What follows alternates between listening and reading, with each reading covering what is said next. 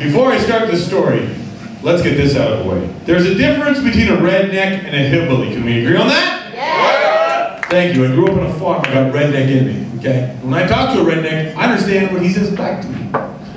When I talk to a hillbilly, I don't understand a word that comes out of his mouth. Now, I'm overseas in West Virginia. I'm almost done with my show.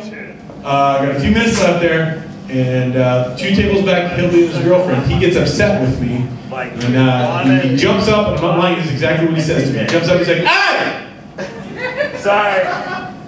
You did, you did, you did, what? Come on! Come on with it!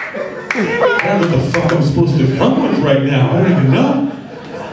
I'm like, sir, if you just calm down, I'm almost done. Right? You just. But he couldn't stop himself. Skinny He's having a hillbilly seizure in front of him. Right?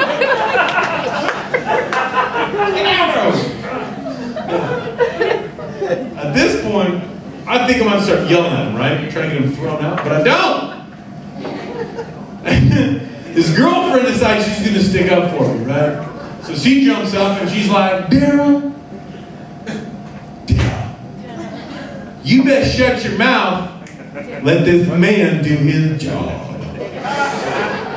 Now Daryl being the hillbilly is, turns around, takes this, hits her. you can laugh a little bit, it's not American, it's not American. I know it's terrible. You laugh. Now, obviously, when this goes down, it is not funny at all, right? I've never seen a dude punch a woman before, right?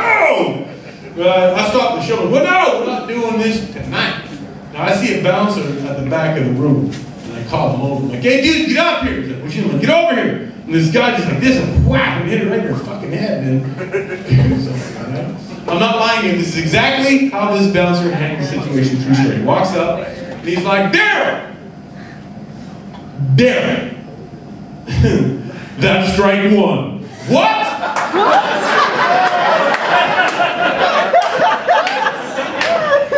He gets to punch this poor lady two more times?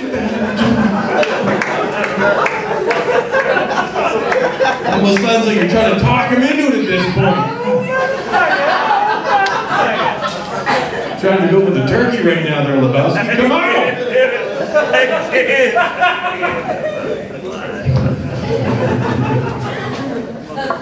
Shit, I'm drunk. Damn it.